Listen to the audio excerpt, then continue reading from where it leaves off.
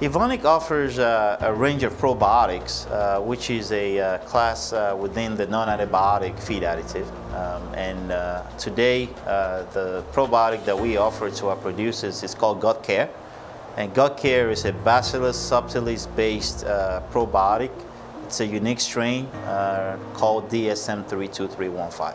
Poultry producers should use probiotics, especially in this era of no antibiotics, because probiotics help them to really maintain the same type of performance that they would typically get when they use antibiotics. And the goal there is really for them to be able to maintain that balance in their microflora.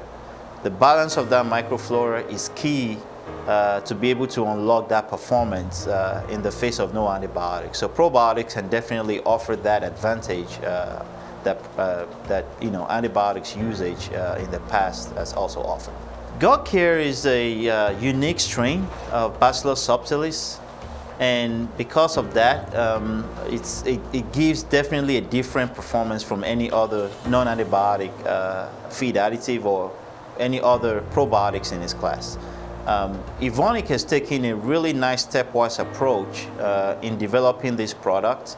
Um, it's a unique uh, product that was developed in-house by Evonik. The strain was isolated and developed by Evonik. And the first step we took was to first of all understand what the mode of action of this, of this strain is.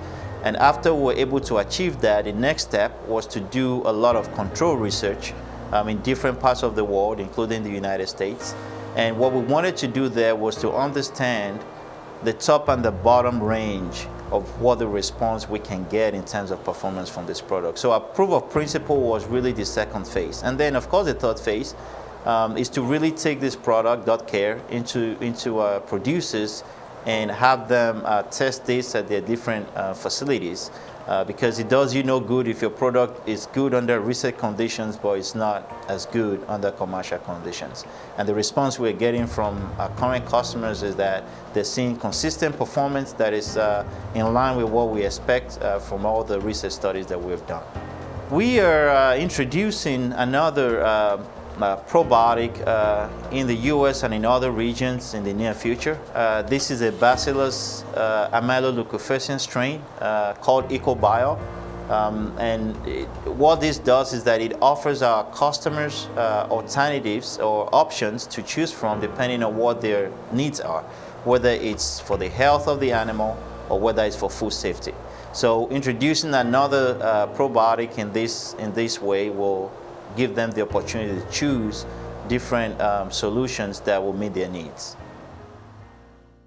Evonik, power to create.